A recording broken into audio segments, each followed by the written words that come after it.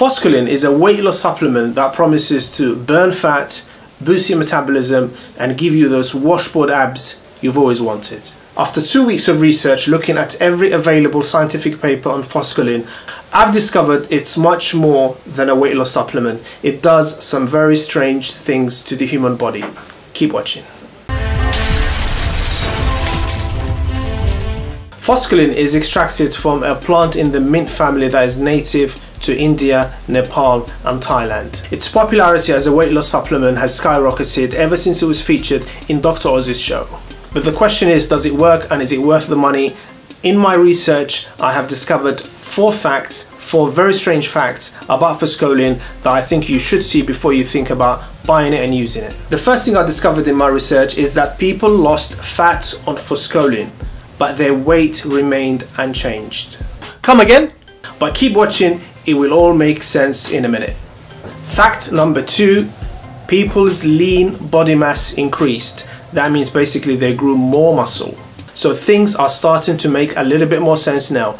People lost fat, but they put on extra lean mass or extra muscle. So most likely the reason their weight did not change is because they simply swapped the fat for muscle. So therefore, even though their fat percentage just dropped, their overall body weight remained the same. Sweet. Let's move on to fact number three. Men who used Forskolin noticed an increase in the level of their testosterone, which kind of explains the increase in lean body mass. Testosterone is an anabolic steroid. It builds lean body mass, it builds muscle. So most likely this is the reason why there was an increase in lean body mass. Let's move on to fact number four, and this concerns how women responded to Forskolin. Women did not really lose uh, as much weight as the men on Forskolin, but they prevented any weight gain. So uh, Forskolin prevented any weight gain in women. So it seemed that in women, Forskolin acts as a weight gain prevention rather than actively helping them lose weight. So what conclusions can we draw from these studies? Uh, I think an obvious conclusion is that Forskolin is just a lot more than uh, just a weight loss supplement. It does seem to have uh, some sort of an effect on the hormone balance in the body. It does seem to have an effect in terms of changing the body's composition, uh, the muscle and fat ratio. I think it would have huge appeal to people who are into fitness in terms of uh, bodybuilding or people who just want to lose uh, weight and slightly maybe change their body's composition.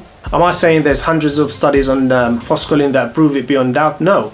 But then again, which supplement, tell me which supplement has hundreds of studies backing it. This is a supplement, it's not a medicinal product. But is it worth a punt to see if it work for you? Absolutely yes. I will leave all the information, including the studies I looked at, all the links will be in the description below so that you know I'm not talking out of my exit hole. Low, see ya, take care.